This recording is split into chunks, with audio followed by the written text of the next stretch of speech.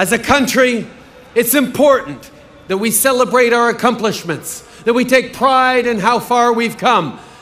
But we can't forget that Canada did not happen by accident and won't continue without effort and hard work. We can and we must continue to make our country even better. We owe it to the parents picking up extra shifts to give their kids the best possible start in life. We owe it to the newcomer building a new life, to the teacher inspiring our kids, to the community leader trying to enact change. We owe it to Canadians who every day make this country stronger with acts of kindness, courage, and compassion, both big and small. I have no doubt that together we can continue to build a country we can all be proud to call home.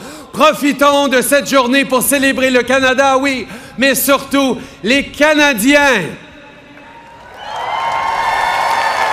Parce que c'est vous qui faites de notre pays le meilleur pays au monde. Happy Canada Day, everyone!